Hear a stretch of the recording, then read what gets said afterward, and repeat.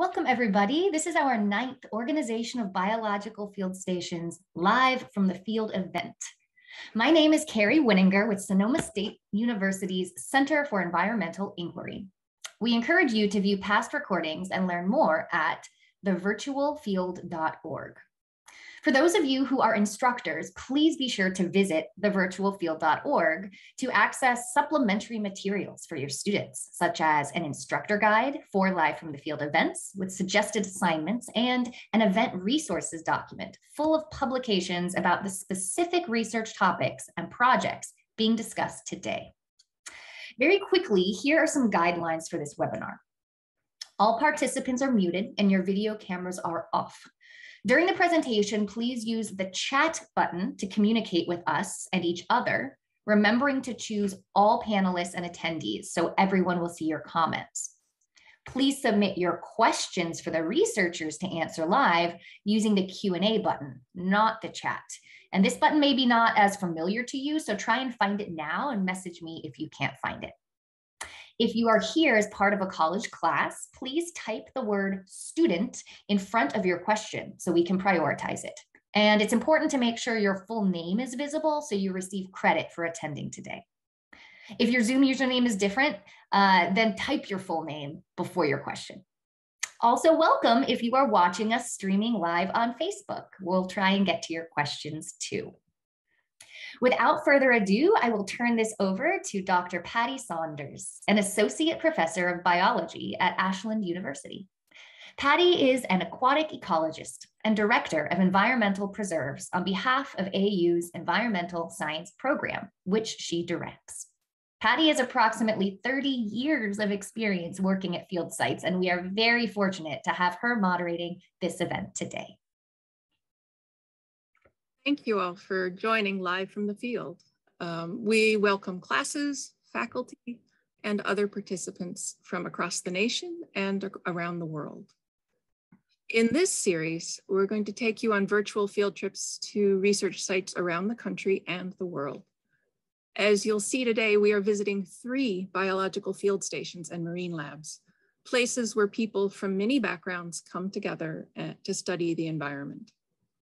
Live from the Field events are a project of the Virtual Field, an international coalition of over 50 field stations and marine labs. This National Science Foundation funded effort brings the field to you. Find out more about events like this and other virtual learning experiences for college students at thevirtualfield.org.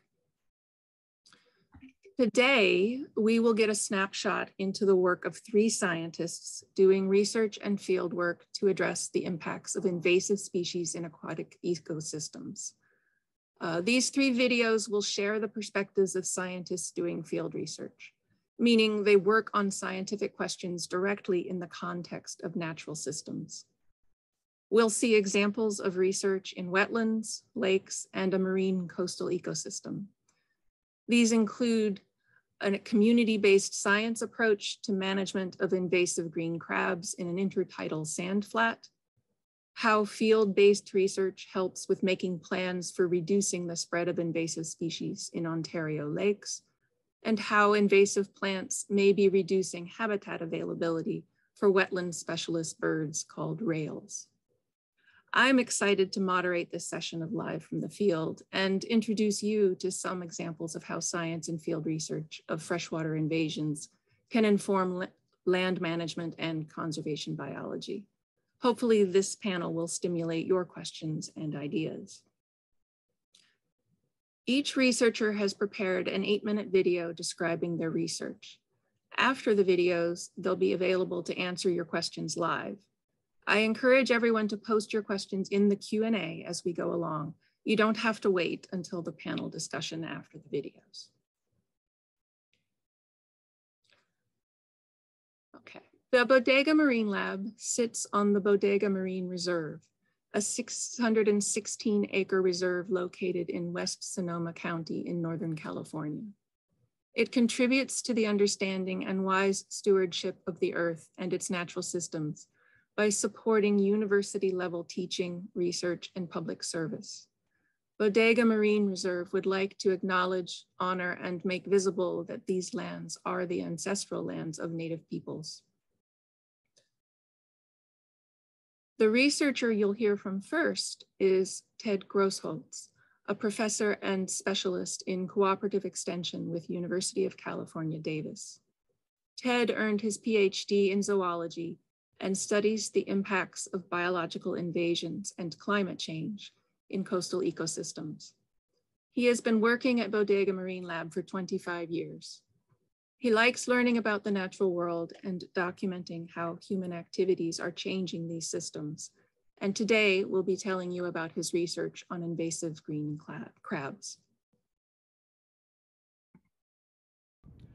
Hi everybody, uh, I'm Ted Grosholz. I'm a professor and cooperative extension specialist at the University of California, Davis and the Bodega Marine Laboratory. This behind me is the reserve of the Bodega Marine Lab, so it's a wonderful place to do work and I'll talk about that in a second. So I'm a professor and cooperative extension specialist. And as a professor, that means I teach undergraduate classes on campus, I mentor grad students, I conduct research, which I'll talk about, and I also am a cooperative extension specialist, which means that I work off campus to solve problems that uh, regarding things like uh, climate change and invasive species, coastal issues that I can conduct workshops and, and try to provide solutions for. So I got started in this not really as an ecologist, but I was really an environmental studies major in, uh, in college and only really towards the end did I sort of discover ecology and biology through uh, my mentor, Dr. Mark Bertness. So you don't have to be sort of a, a dyed-in-the-wool uh, scientist at a young age. You can come into this at a much later point. So um, what I'd like to do now is to sort of tell you a little bit about um, the kind of work that we're doing out here. And I want to sort of start with the question, what happened here? In the 1990s, a species called the European green crab, which I'll show you right here, got established in Bodega Harbor here. So if you can move in just a little bit, you can see this little crab here. Um, they can be a good bit bigger, but these crabs are the only predator in this large intertidal sand flat area. Na the native crabs aren't common in this area. So they have this whole wide open area to, uh, to be a predator in. And one of the things that they consume are things like this. There's clams, uh, smaller things like small clams. We have amphipods, small polychaete worms. You can see the bigger clams here. But this is the food web that supports shorebirds, which we'll see over here if you just pan over to this side. You can see them flying in the distance. Okay, and then back. So this is an important food web, and, and that involves a group of like 12 different birds, some of which are threatened and endangered, like snowy plovers. So it's a very important habitat here, and my question was, what's the impact of green crabs in this area? So I used a number of methods and techniques with colleagues. So we used traps like this to census the green crabs, exclosures or enclosures to actually keep green crabs away from specific areas or groups of invertebrates to experimentally quantify the impacts of green crabs. And we use surveys, uh, you know, binocular spotting scopes at different ports of the bay, different portions of the bay, different, uh, different times of year to get an understanding of the abundance of shorebirds and how that changes over time. So our results were actually very, very conclusive. And I wanted to add one other thing. We also conducted some large field experiments with a grad student who was a shorebird expert that involved four meter wide uh, arenas in which we would allow green crabs in to forage for a few days or not as controls and then put shorebirds in for a number of hours and monitor their feeding and weight gain. So it was a very dramatic effect of green crabs, both experimentally on the shorebirds, but also distributionally. We were able to monitor and determine that the shorebirds were changing their distribution as a result of where green crabs were, were foraging. So um, we were able to easily document the green crab impacts. But then the question was, what do we do about this? Is there a way we can mitigate green crab impacts in these habitats? And so one of the things that we did was to identify an area called uh, Seadrift Lagoon, which was an area a little bit distant from here that was somewhat closed off, so it didn't have a lot of connection to other bays, which allowed us to go in and see if we could remove all the green crabs from a specific area. So this was an opportunity to try methods like this. So we put a lot of traps in with a lot of people to see if we could get rid of and eradicate all the green crabs from this habitat.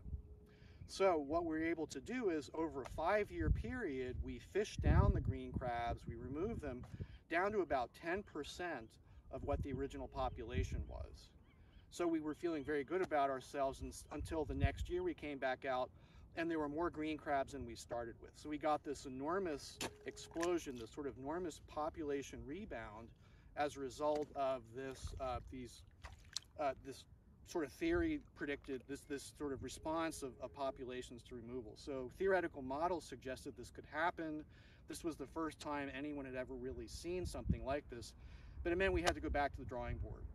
So is biology is science a linear process? Absolutely not. We found once again that our expectations were different than what we found. Often science is such that you get a counterintuitive result, you get something not what you expected, then you have to go back to the drawing board and come up with new questions and new approaches. And we had to do exactly the same thing. So what we had to do was stop trying to eradicate the species. But what we did was decide to keep the population at a low level. So instead of fishing it down to 10% and getting a rebound, fishing it, keeping it about 30% so that we could get some of the ecosystem functions, some of the native species coming back into the system. Um, but we'd have to maintain that level for some period of time. The way we approached that was to use citizen science and community science volunteers to help us maintain that population at that lower level for a long period of time. And so the, this approach, this community science uh, was, was very effective. So we brought in a lot of local people, landowners, people that were really interested in this habitat to help us maintain that reduced level, that suppression level of green crabs. And that's been very effective. We've been doing that for the last five or six years. So uh, we learned a lot. We had to completely redo what we were doing, but our, our current um, approach has been very effective. What I'd like to suggest is that um, this approach, uh, the, um, the citizen and community science uh, volunteer program is a wonderful way for undergrads to get involved. So if you're interested in trying to get involved in community science or, or science generally, there are a number of programs uh, on the West Coast. For instance, there's Beach Watch, there's Reef Check, which is actually an international program that involves large numbers of volunteers. And so if you're thinking about how do I get involved in something like this, that's a great opportunity and a great way to try to do that. So I would strongly suggest that if you're interested in trying to get uh, experience in field science in these coastal habitats, that contacting a citizen or community science program and making yourself available as a volunteer is, is a great way to do that. So um, I think what I'll do is I'll stop now, but I do want to encourage people to try to contact me if they're interested, if they have any follow-up questions. Please read the papers that we put on the website, and um, I'd be happy to answer questions and follow up with email. So thanks very much, and see you, see you another point.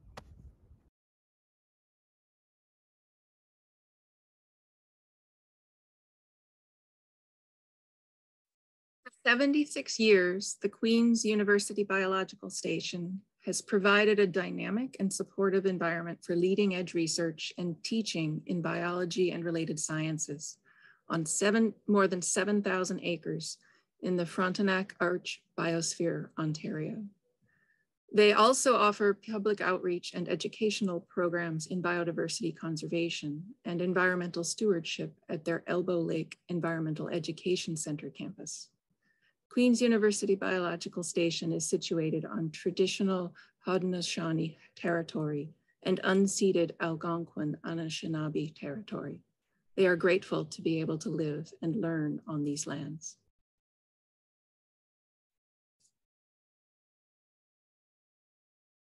Next, we'll hear from Shelley Arnott, a professor at Queen's University in Kingston, Ontario, Canada. She has been working at Queen's University Biological Station for 19 years and uses a combination of field surveys, field experiments, and laboratory studies to provide science in support of environmental policy and management. One thing she likes about field research is working in natural settings to understand ecological systems, and providing the next generations of scientists tools for addressing current environmental challenges. Today, we'll hear from her about investigating how aquatic communities respond and adapt to regional disturbances, including invasive species, calcium decline, and climate change, and what actions can be taken to reduce human-mediated spread. My name is Shelley Arnott, and I'm a professor in biology at Queen's University in Kingston, Canada. My research understanding how aquatic communities respond to environmental pollutants and climate change. I didn't really have a direct path to my current career. Instead, it happened because of a combination of serendipity and taking advantage of important opportunities as they arose. When I finished my undergrad in chemistry and biology, I didn't know what I wanted to do, and I, I took a year off and I traveled through China, the Middle East, and Africa. And it was actually on the Yangtze River um, in the Three Gorges, floating along the Three Gorges, that I decided that I wanted to do a master's. And I had a really great experience in my in my doing my master's research because my supervisor gave me the freedom to ask the questions I want and to explore different ways of answering them. From there, I did a, a PhD thinking that I wanted to be a government scientist. And instead, I ended up getting a one year position teaching. And from that, I realized that I couldn't be the researcher that I wanted to be unless I was being challenged and pushed by students who questioned me and the existing paradigms. So then I went to a small teaching university in Northern Ontario. And again, a new opportunity came up and I ended up at Queen's, which was a better fit for me. One of the things I love about my job is that I have the opportunity to work with amazing undergraduate and graduate students who are conducting research on, on aquatic communities. I spend about 40% of my time teaching various courses, which includes a field course at the Queen's University Biological Station. I also teach an aquatic ecology course, an invasive species seminar, and a graduate stats course. I spend about 40% of my time doing research, and this involves supervising or mentoring graduate and undergraduate students who are pursuing questions related to both the fundamental ecology of aquatic systems as well as more applied issues like invasive species. The remainder of my job consists of, of service to both the university and the science, the broader science field. This includes things like being chair of a Equity, Diversity, Inclusion, and Indigeneity Committee. I'm an associate director of the Queen's University Biological Station, and I serve on various committees that deal with um, tenure and promotion of my of my colleagues. Understanding how invasive species impact aquatic communities has been a central focus of my research over the past several decades. Initially, we were very interested in the impact that uh, non-native species had on uh, freshwater communities. And more recently, we've been shifting gears to try to understand what factors influence the spread of, of non-native species from lake to lake. Understanding how invasive species impact communities has been a central aim of my work. Initially, we were focused on understanding their impact on zooplankton and phytoplankton communities, but more recently, we've been interested in understanding factors that drive their establishment as they move from lake to lake. And because humans are a primary vector um, that move zooplankton or that move non-native species from from place to place, we've been doing studies to test decontamination strategies that boaters can use. We use a variety of approaches to understand how aquatic communities, primary, primarily plankton, respond to individual and combined stressors. We do lake surveys to investigate community composition across environmental gradients. We do some modeling to test our ideas and predict future scenarios. And we conduct laboratory and field experiments. Our forte is field experiments, and a lot of our work is done using in lake mesocosms or land-based tanks that range in size from 200 liters to 800 liters. In these experiments, we can manipulate one or more factors and test how the plankton communities are responding to them. With our work on invasive species, we found that both the number and the frequency of individuals arriving at a particular site can influence their likelihood of establishing there. In freshwater systems, boats and fishing equipment can be important vectors that move non-native species from site to site. So what this means is that anything we can do to, to reduce the number of individuals or species in or on boats that are moved between lakes will help prevent the spread of non-native species. We're continuing to ask questions about invasive species and are interested in how they interact with other stressors. For example, if a non-native species arrives in a lake that's experiencing increased nutrients, is the combined effect of those two stressors greater, less, or the same as the individual effects? And we're using mesocosm studies to address these questions. A lot of the time we identify problems through observations. My lab works closely with the Ontario Ministry of Environment, Conservation and Parks, and they've been collecting long-term data for on seven lakes for over 40 years. So using these data, we're able to identify changes in the lakes. For example, increases in salinity due to winter road salt application, changes in nutrients, or the arrival of non-native species. We then design experiments to identify and quantify cause and effect relationships. Research is definitely not a linear process. I think of it more of, a, of an iterative process where we ask a question, we get an answer, and usually we get many more questions. So we design more studies or more experiments to attempt to answer those questions. And so really the the progress that we make in science is through a combination of of multiple efforts using different approaches different different team members all working towards the same goal of better understanding how environmental change influences aquatic systems.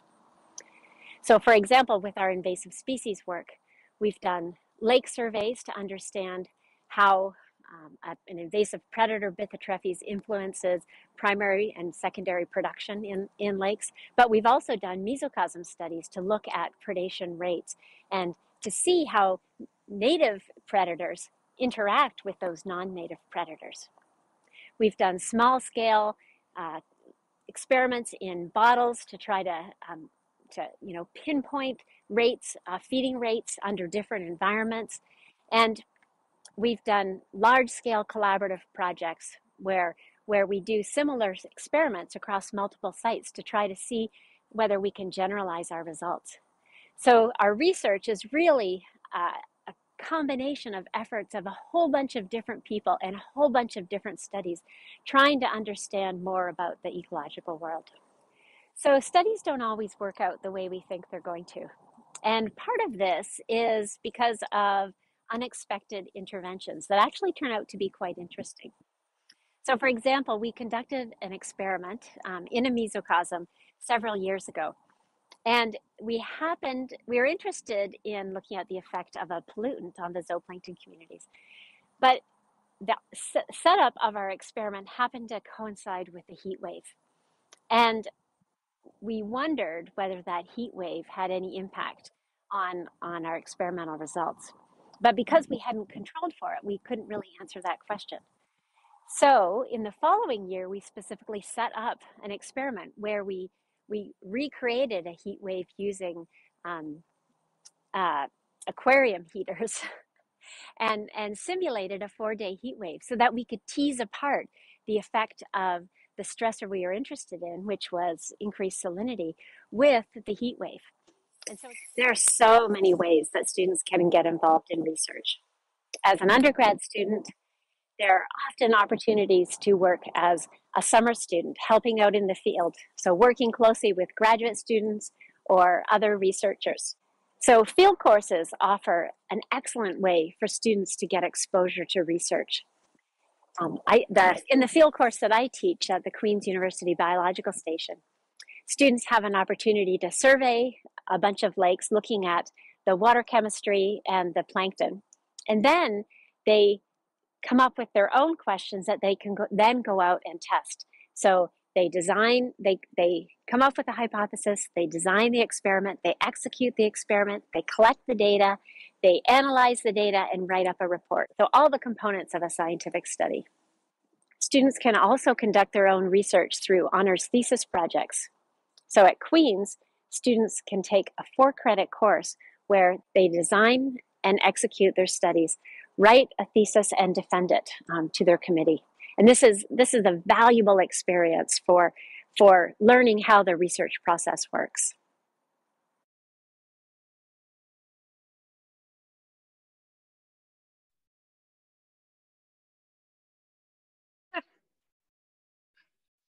The Black Fork Wetlands Environmental Studies Center supports a mission of undergraduate education, outreach, and field research.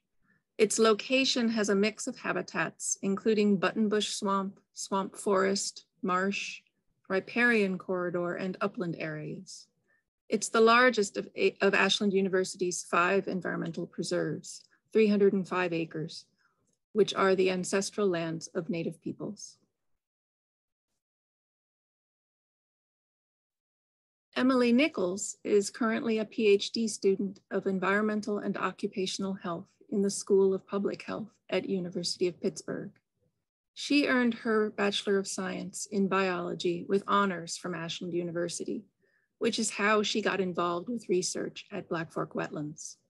She did three years of research on site and appreciates how field research allows her to engage with the environment and see things she might not otherwise notice. You'll be hearing from her today about the differing quality of two wetland plant communities and the possible impact on threatened rails. So my name is Emily Nicholls and I used to be an undergraduate researcher here at Ashland University. Uh, my research mostly focused on plant ecology and working with these two marsh habitats. Uh, you can see one of them in the background here right now. At the moment I am actually a graduate student at the University of Pittsburgh and I feel like having this research experience actually played a major role in deciding what I wanted to do in the future. Especially when I was an undergraduate student, like I never really considered the idea of going into research. Uh, it was the end of my freshman year where I was asked if I was interested in doing this project, looking at plants at some of the marshes here at the Black Fork Wetlands. Uh, and so in my mind, I was just doing it as kind of like a resume builder because, you know, I knew I was going to need it down the line anyway, so I was like, well, I might as well give it a try because I like plants. And then I actually got really invested in the project and I found out that, you know, I actually really enjoy the research process. So let's go ahead and take a closer look at one of these sites. So the reason that we did this project was because, at least when it started out, it was kind of just this general question of understanding what is at the different sites, what does that habitat structure look like. And part of that is because there's a separate project going on looking at Virginia and Sora rails that live out in these marshes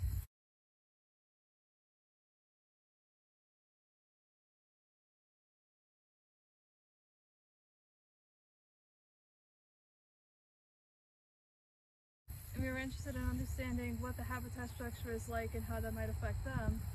But then it kind of evolved into this project where we noticed that there's this other marsh, which is the one we're at right now, where we have this highly invasive reed canary grass covering so much of it. And we became interested in comparing how those habitat structures differ between this highly invaded marsh and what a native marsh would look like. As I mentioned, the invasive species of interest in our project is this reed canary grass that you can see around us. And when we talk about invasive species, what we mean is a species that isn't native to a certain habitat. Uh, so in this case, reed canary grass is from Asia, for example, and it doesn't naturally occur within North America for the most part. Um, and the reason that's a problem is because in any habitat that you look like, you're going to have different niches where each species has a certain role that it fulfills well. But when you have an invasive species, it breaks all of that and it just does whatever it wants. And that destabilizes the habitat. So this is our other site, and right off the bat you can just see that it's so much different from the first one we were at. Uh, we call this the rail marsh or the pond marsh, depending on whichever one feels right at the moment, to be honest. This is where a lot of the observations of the Virginia and rails have taken place. Even though it looks dense from a higher up angle, you know, once you look at the ground, for example, you can see that there's actually a lot more openness compared to the thick mats of reed canary grass that we saw at the first site.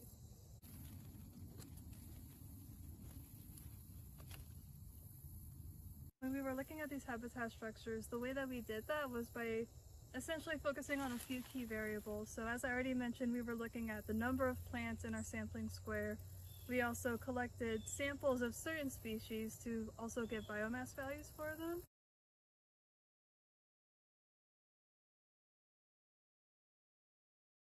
And then another aspect that we actually looked at was the quality of the plants. You know, in any given spot, you can find a wide mix in terms of different things growing around. And each of those different plants is going to be a different level of quality. So some of those plants are going to be very picky about where they grow, and some of them will grow just about anywhere. So here, for example, side by side, we have some burrweed, which is one of the ones that we actually collected biomass for because it's so characteristic of this site. And we also have some cattail as well.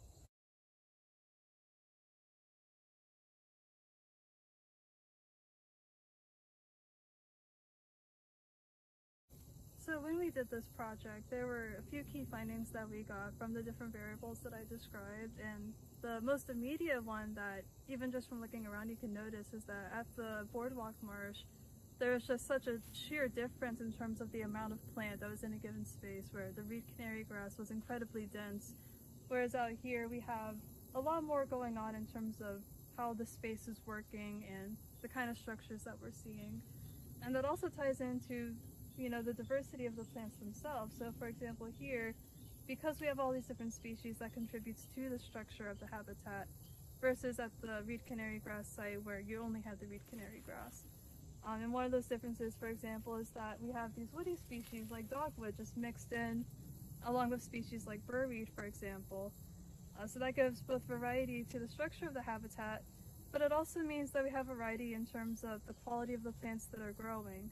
At this pond site, we have both very specific and non-specific plants all growing mixed up together, just in general making for a very biodiverse site. Whereas at the boardwalk marsh, we actually did find higher quality plants than we did at this site, but they were very isolated and they were only in that last section where the reed canary grass wasn't growing. I mean, one thing to keep in mind though is that when you're doing any research project, you're going to run into certain problems and especially with fieldwork, things can, as you might guess, get very messy very quickly. Uh, so a site like this, for example, the good news is that because the structure is very biodiverse, we don't have the same density. That also means it's much easier to sink into the mud if you're not careful. So practical challenges like that, such as actually moving through your site.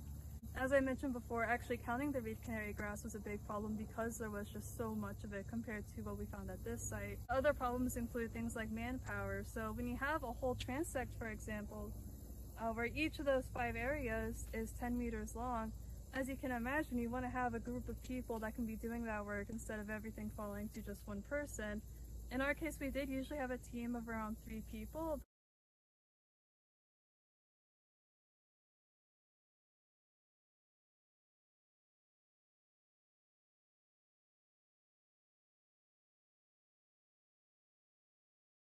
But even then, uh, that still meant that there were some practical limitations in terms of how much sampling we could do, when we could go out sampling. You know, you do run into problems like that, but the best strategy is to just adapt to it and do what you can and see what you can learn regardless.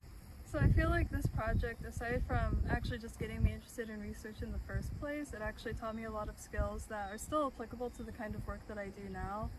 Um, so a big one would just be, for example, data management, where you know, you have all this data, but how do you actually organize it and work with it? You know, what kind of tests can you run on it?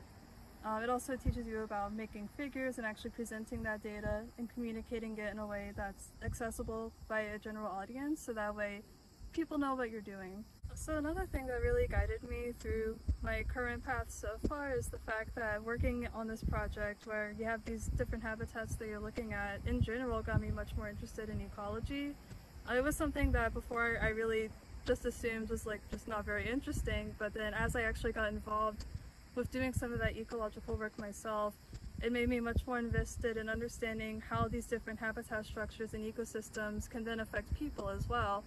And so that kind of guided me into looking at urban ecosystems and the projects that I do now where I'm looking at how different factors of urban environments, so air pollution for example, can then affect people.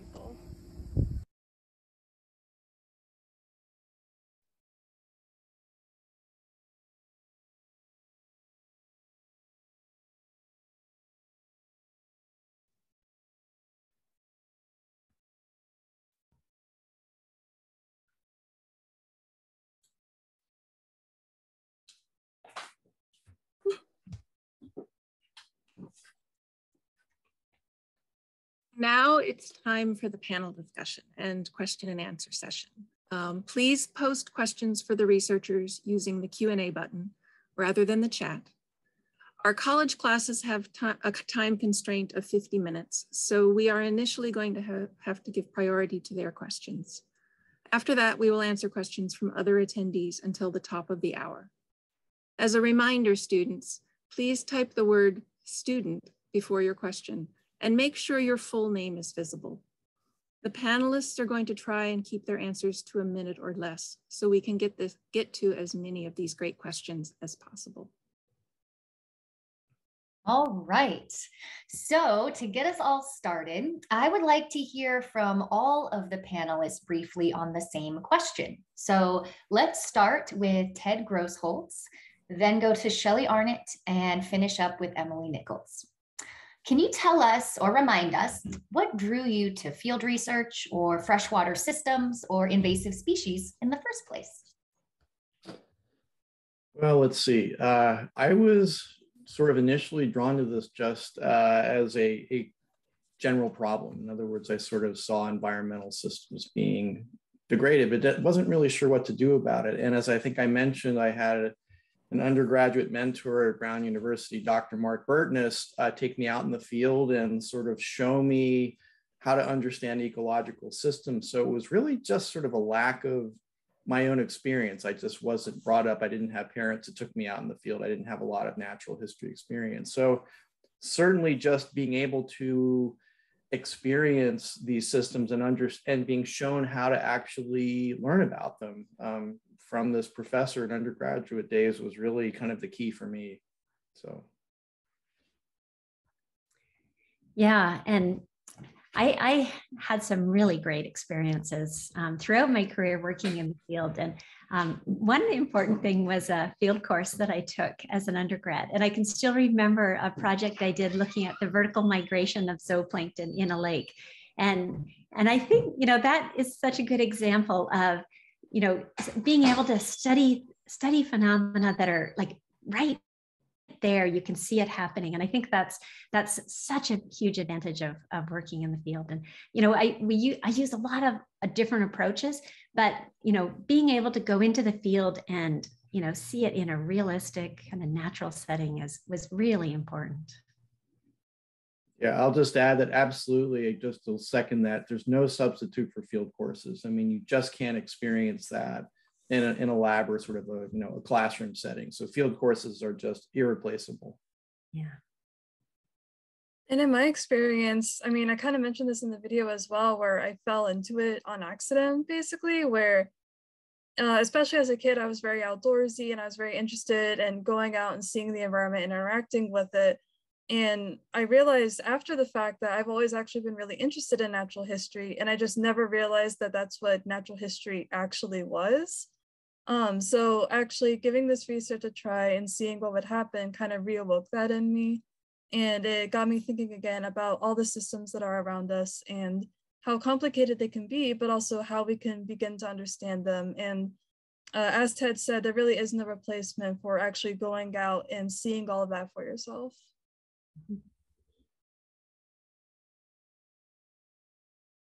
Hey, um, think this next question will direct to uh, Ted Grosholz.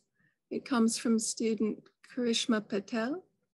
And um, they write, it's very interesting to see that the large body of water is consists of the small green crab as the predator. Um, is it because the abundance of the species is so large that they are the only top predators in that water? Uh, that's a great question. When I was showing you that, it was the intertidal areas. So obviously, as you get down deeper, there's much larger crabs, much larger fishes, but they live in areas that are they're covered by water the entire time. So this intertidal region, which actually can be in freshwater areas, you can have tidally influenced freshwater zones as we do in Central California. But these areas where the tides go up and down, that expose these areas are much more difficult physiologically to live in. And no, there are no native crabs or fishes, or really, they're shorebirds, but there aren't really any similar kinds of predators that dig down and take advantage of these species. So great question, but yeah, it is the only species in that in that tidal zone, if you will. Shelley Arnott, this next question is for you. Somebody asks Have you identified any changes, physiological or behavioral, in the invasive species due to environmental changes like salinity or water temperature? Oh, that's a great question. And um, oh, I wish I could um, give you a, uh, uh, I wish I could say yes. Do you know, though, we have focused more on um, how the native species respond and how that interacts with environmental changes.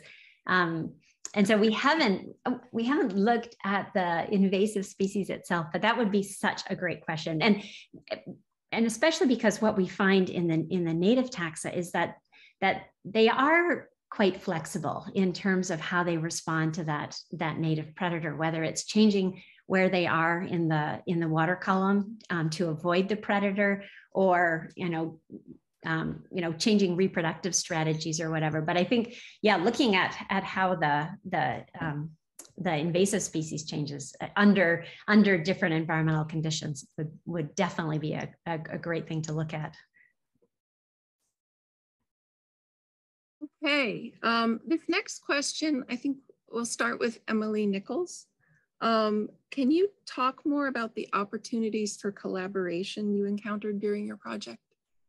So in my project, um, it was really nice because uh, there were a lot of different ways that we could actually measure what we were seeing out of the two different habitats. So, you know, as I mentioned, like going out and collecting physical data such as cal and biomass, um, but there were also a lot of opportunities to go beyond that too. And I think, uh, I mean, as we mentioned, like this is a project where I was focused on the plant side of things, but we also ended up working with these other people who were very interested in the birds and sending the information back and forth to get an idea of the full picture of what was going on out there. So that was really interesting.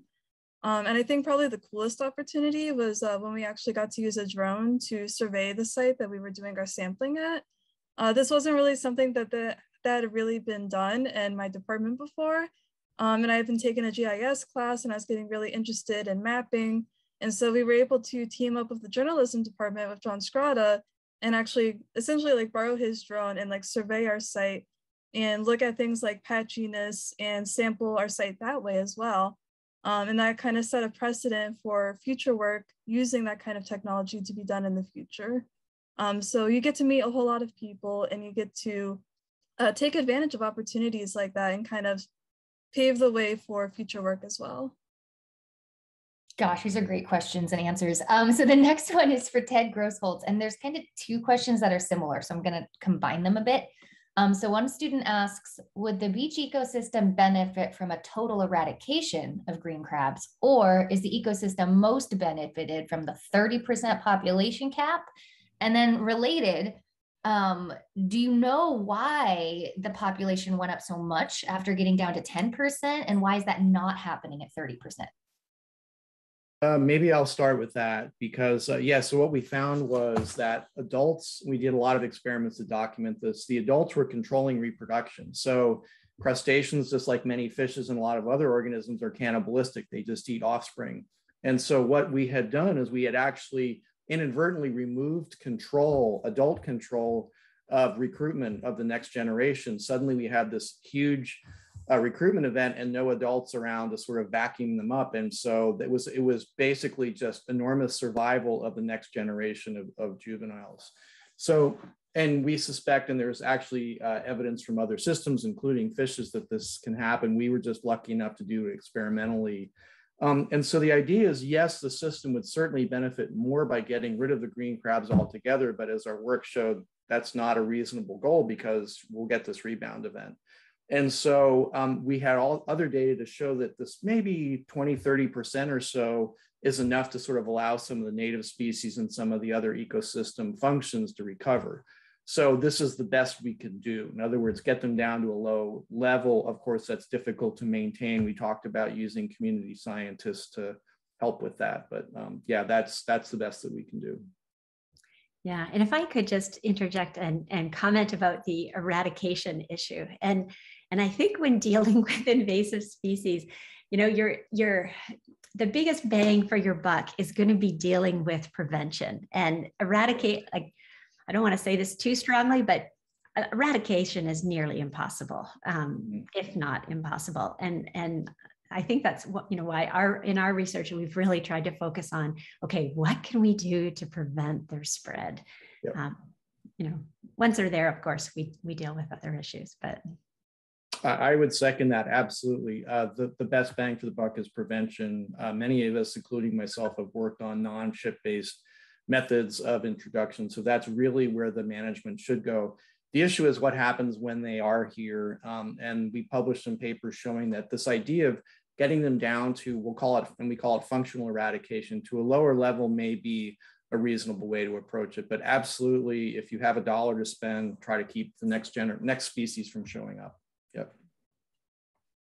And to add on to that too, like uh, actually removing certain species can just be so difficult in itself. Um, I remember at my own site when I was talking about this research before, someone asked me, well, why don't you just go and rip all the reed canary grass out? Um, and so even though eradication is ideal in a sense where it's like things would be much better if the invasive wasn't there at all, um, it can, I mean, as we've seen here, it can actually be really difficult to actually implement. So finding other ways to work around that and get the best that we can for that site uh, with the challenges that we're facing is definitely the best approach, I think. Okay, for students that have to leave now, thank you for joining us. Uh, we will be emailing follow-up information. For other attendees, the panel will stay on through the top of the hour and continue to answer your questions. Um, and I have a follow-up. Um, I'll direct this at Shelley Arnott um, to the, the previous conversation. Um, what role does public outreach play in sharing preventative strategies uh, with respect to introduction of aquatic invasive species? Yeah, I and I think that that plays a, a key role because um, in the in the systems that that I work in, you know, we think that that uh, boaters are moving a lot of species from from lake to lake, and you know the, the key is really reducing um, the number of, of individuals that arrive at, at each lake. So so educating the public and getting them to buy into um, methods for decontaminating their boats when they move from lake to lake is is is so key. I mean it's it's essential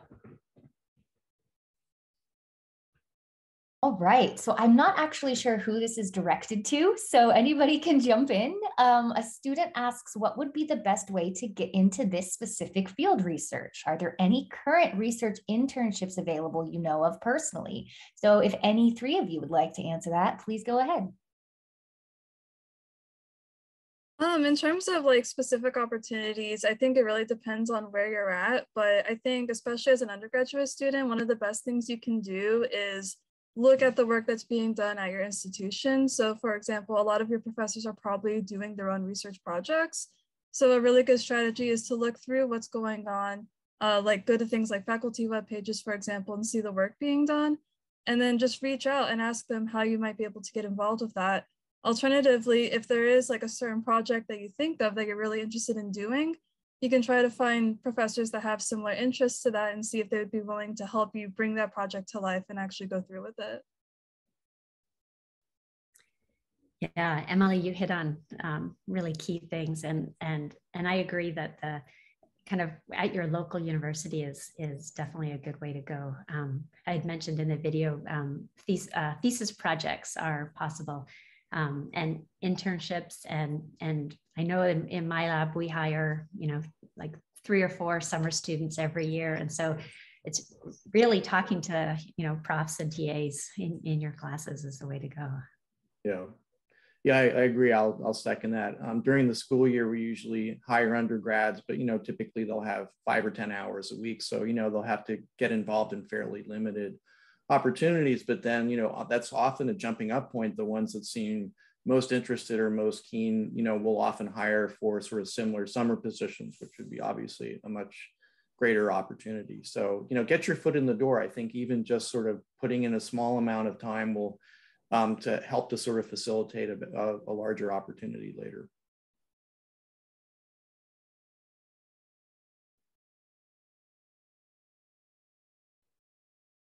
All right, I'll jump in with another question. So this one's interesting because it's called freshwater invasions, right? That's what this event is. And yet we have someone who works on the coast. So this question is about how current research has current research revealed how human interactions affect the spread of invasive species of freshwater habitats versus saltwater habitats?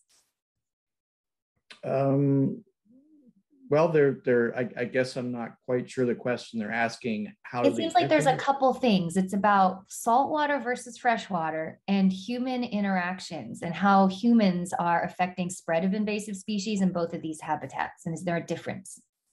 Well, I mean, I, I guess I'll just jump in. I'm sure Shelley and Emily have some thoughts about this too.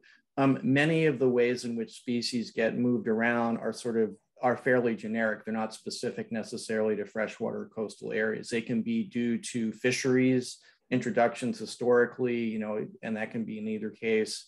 Um, there are often, you know, we'll say, especially with plants, well, agricultural, aquacultural, backyard water horticultural vectors by which species get introduced. So it, it's, we'll say it's human mediated processes that bring them there. And it's just a matter of people being aware of, of the risk of these different methods. So it's not really very uh, habitat specific.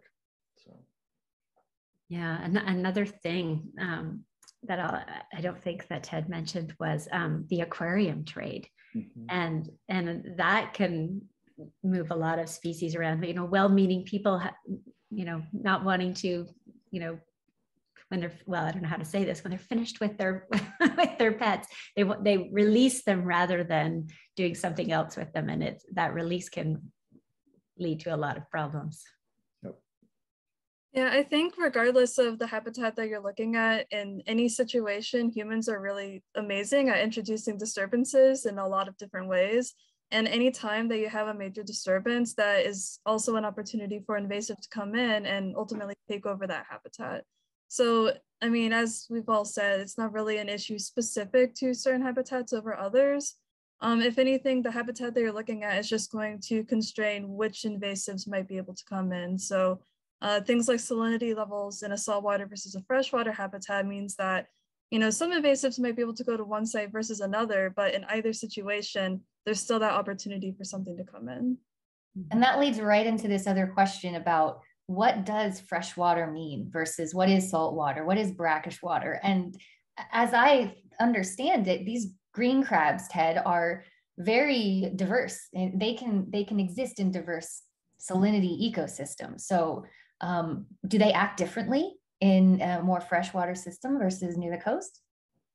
The i mean the adults uh, in particular can occupy a range of salinities. I mean you know what the system i was talking about actually was an estuarine system. Um, and beyond green crabs there are a lot of species even sort of freshwater aquarium fish that can tolerate like a modest amount of salinity. So one of the issues is that you know we think about things being very specific but a lot of the sort of in many cases some brackish water species can actually exist in freshwater and vice versa. So if we're thinking about this from an invasion perspective, we actually wrote a paper showing some quote unquote freshwater aquarium fish can, you know, in, invade low salinity uh, estuaries.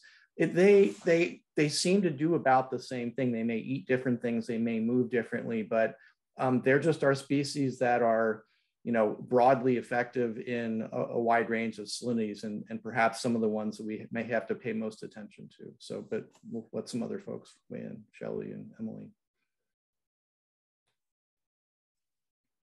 Okay, um, it's time to say thank you to our speakers, uh, Ted Grosholz, Shelley Arnott, and Emily Nicholls.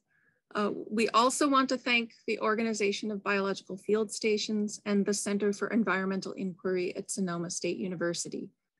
Learn more about their series of virtual events at thevirtualfield.org and ceiSonoma.edu. Thank you to the National Science Foundation for funding this project and to all the wonderful people behind the scenes who made this possible. We will be emailing all of you in the next few days uh, with follow-up answers to the questions we didn't address today, um, a link to a recording of this event, and a link to a very short survey, how you used the event, what you enjoyed, other event themes you might be interested in, and suggestions. This is to help us find funding and improve these for the future. We're putting this survey in the chat if you'd like to copy and paste that before we end. We hope to see you at future Live from the Field events currently being planned for 2022. Dates and titles will be posted on both the virtual field and Center for Environmental Inquiries websites by January. These websites are also where you can find recordings of all past events, links to the websites at each field site featured today, and event resources, including publications from each, each, each researcher and educational tools. Please share all of these with fellow instructors, students, friends, and colleagues.